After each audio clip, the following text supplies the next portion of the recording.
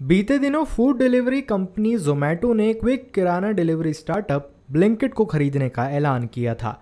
Blinkit को खरीदने के बाद से जोमेटो के शेयर में लगातार गिरावट देखने को मिल रही है।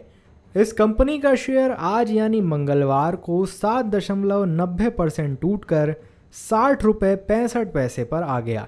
इससे पहले सोमवार को भी जोमेटो के शेयर में छः परसेंट से ज़्यादा की गिरावट देखी गई थी। ब्लैंकेट को खरीदने के बाद से अब तक जोमेटो का शेयर लगभग 14 परसेंट से ज़्यादा टूट चुका है। जानकारी के लिए आपको बता दें कि फ़ूड डिलीवरी कंपनी जोमेटो ने शुक्रवार को यह ऐलान किया था कि उसने quick kirana delivery startup Blinkit को खरीद लिया है। जोमेटो ने कंपनी की ऑल स्टॉक डील में चार हज़ार चार सौ सैंतालीस करोड़ रुपए में ब्लैंकेट को खरीदा है।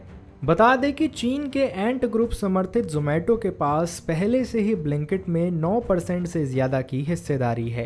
पिछले साल ही ग्रोफर्स ने अपना नाम बदल कर ब्लिंकिट कर दिया था। जोमेटो ने इस दौरान कहा था कि यह अधिग्रहण क्विक कॉमर्स बिज़नेस में निवेश करने की हमारी रणनीति के अनुरूप है।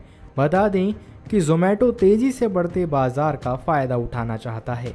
इस साल की शुरुआत में जोमेटो ने यह कहा था कि वह अगले दो सालों में इंडियन क्विक कमर्शियल मार्केट में 400 मिलियन डॉलर का निवेश करेगा। ऐसी ही तमाम बड़ी खबरों से जुड़े रहने के लिए बने रहिए पंजाब केसरी डॉट कॉम के साथ।